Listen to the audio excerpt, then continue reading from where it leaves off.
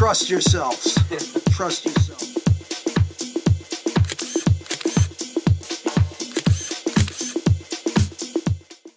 Get the little intro ready. So today I'm very lucky to have the opportunity to interview Mr. Robert Apostle, a longtime teacher in the Genius Behind the New Music Ensemble program here at LaGuardia. Uh, thank you so much for agreeing to speak with me today. Before we start talking about LaGuardia, I'd like to get to know you a little bit better. So I was wondering if you could please walk us through your background and the career experiences you've had that have helped you become the wonderful and beloved LaGuardia teacher you are today. Um, my background, so much background, lots of years.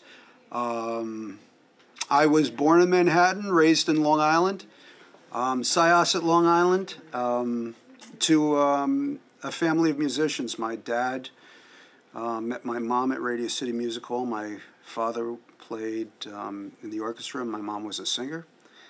And um, so there was constantly music in the house, very much as um, as was most people in those days influenced by the Beatles, um, listening to that stuff all the time as a little kid. Um, of course, being in a musical family, um, lessons started early. Started piano around age five. Junior high school, um, entered the Manhattan School of Music pre college division. Got my bachelor's degree from the Juilliard School in Piano Performance. Um, got my master's from Teachers College, Columbia University. What's kind of funny is that I never expected to become a musician, nor did I think, uh, I'm sorry, I become a teacher. I was always a musician. Um, and um, it was really by mishap because I never had any interest in becoming a teacher. I always wanted to play and uh, work on my music and be an artist. And um, one day, one of my classmates at Columbia said that I could take um, take a test um, to get um, a per diem license, which was a substitute license, and um, says, you know, you can still work on your craft and you make, you know, a couple bucks every day. I said, okay, that sounds cool. So I went and I took a test, and um, a few months later, after I graduated, I got a phone call from um, a a principal in Brooklyn. And I thought it was just to go in and sub for a day. And I went in. I met with the administration for about 45 minutes. They brought me up to a classroom. and then 35 years later, here I am. Um, so I, I started teaching out in Brooklyn. I taught there for eight years. I actually enjoyed it. I had my independence, lived on my own, practiced all the time, wrote my own music, had a band, um, played around town, um, recorded music, really um, pursued that a little bit. Um, and um, a few people who were presently here at LaGuardia, one of them, um, our old AP of Music, Bernice Fleischer, had seen me around town with my um, group doing various things. I did something at Carnegie Hall with my students back in the day, Brooklyn Museum, all over, um, as uh, the schools travel and do a lot of things. And um, I got an interview. They saw me around town, they knew me, and I got into a place that I really always wanted to be when I was in Juilliard. Um, in the early 80s, this place was just being built. Uh, when I was in the Manhattan School of Music, um, I went to school with people who were coming here during the um, during their school week. So it was a, and of course, um, growing up, you always watched Fame, and you know, not to be cliche, but it was it was really um, it was um, very cool because those guys were making um, making uh, being creative cool, and um, so there was always something uh, romanticism about um, LaGuardia High School Performing Arts, High School Music and Art, and um, you know, I so so somehow I ended up, you know, not wanting to teach, but I ended up in a place that was, you know, still all about the arts, and I was able to communicate and practice and practice my art and have great conversations with students and develop develop some groups. And um, and it's really been you know again not wanting to become a teacher i'm quite happy i did and i'm proud of the work i've done and it's it's it's um, uh, it's I'm, I'm I'm happy where I am right now. Thank yeah, you. man. And speaking of the um, the all the, the time spent at LaGuardia, I was actually wondering also if I could get some explanation on the. Uh, I was wondering the story behind the sentence you mentioned. You said uh, I watched the Gideon video. Funny because when I started, I dragged him along to a recording with Joe Pesci that was a blast, and I saw that and I thought, I have n- I really gotta know what went Look, and I with saw that. Gideon, and Gideon was that was that was 27 years ago. So Gideon Go is into not, the you know, 27 years older. And I looked and I said, I didn't know that You know, face. so thank you. And then Just so we open. so cool that he became the principal at Sinatra. I mean, wow! It's like you know, you know, it's it's so cool where I am that you can see students go. I mean, I have students that I started working that are into their mid forties, you know, and it's it's crazy. Families, careers, and Gideon's out there. Yeah, the Joe Pesci thing. Um, that was something we could do back in the day. I um, some knew some people in Sony Music, and All right. they called us up and they said treat we wanted some singers. Listen to So we went down to the On a great Hit. Factory, and there's Joe Pesci, and it was for a really silly album, Vincent LaGuardia's Christmas album. it was it was such a hoot, and um, and it was kind of nerve wracking for me. I mean, we had a blast. The kids had a blast, and um, it was nerving for me um, to be in the same sitting side by side with Joe Pesci after seeing Goodfellas and all the mobster movies. Really, really was a little bit intimidating. But um, yeah, Gideon was there, and we brought about I don't know 10, 15 students down there, and um, that's history, man. It was very, it was a lot of fun. Yeah, That is so cool. yeah, yeah, yeah. Yeah, Um, I was wondering if you could uh, please give us a brief description of the mu- new music program, both its philosophy and its execution. Uh, what are your educational goals, and what does a day in your life as a LaGuardia teacher look like? Well, new music. Um, it's interesting that new music ensemble now was new music singers.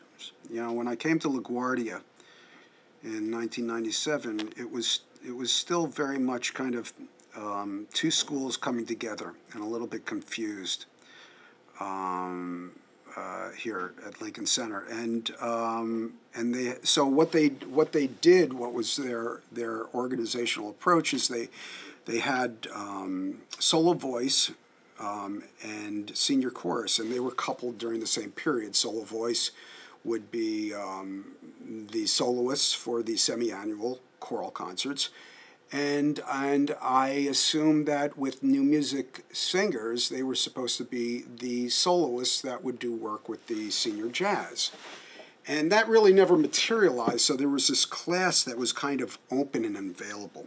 And at that time, I came in here, I was young, I was playing, I was right, I was composing, and I met up with some students, and I was going around and having conversations and uh, you know and sharing music with students them and they with me.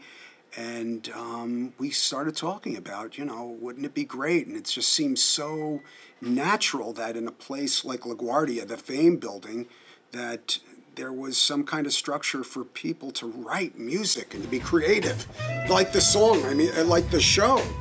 And um, so fortunately, my boss, Bernice Fleischer, allowed me license to explore this. And um, I think what, what was so important to me in my education you know, over at Juilliard was not necessarily the teachers, as strange as that might sound, but the interaction between the students and hanging with students and playing for students and talking with them and sharing our passion for music. And I always um, kind of felt that new music was a place that if I could get the greatest students together, they could have the same um, they could have the same experience um, while creating great music and um, uh, um, so we've over the years created this great community of songwriters professional songwriters people are out there in the studios um, and um, just allowing students to explore that creative side, which they don't necessarily get in their um, ensemble classes under the direction and baton of, um, of their conductors. So, um, uh, also a program that I, it's kind of unbelievable that we do it because we're out in the halls, we're in the stairwells. You know, it goes against what is a traditional um, academic structure.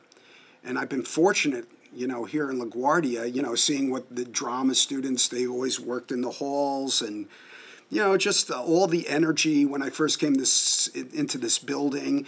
There were a lot of students who, you know, we they hung out in the hall. They talked, they interacted. They were in rooms playing music for each other. It wasn't as restricted. So it seemed like it could work and it did work. And we're still holding on to it and uh, had a great year this year. I'm looking forward to next year. Excellent. Yeah, man. Thank you. Would you say fame is an accurate representation of LaGuardia, or, or is LaGuardia like a? I'm not sure which. I think I first. think uh, I think the trademark on everybody's um, everybody's sweatshirt kind of wants to be that. I don't think that I think it, that was a different generation, and it was a different city. Um, there was a lot of different philosophies. Um, so um, I think the spirit wants to be. Um, there's wonderful, wonderful performing artists here, amazing talent that lives up to the lives up to that caliber.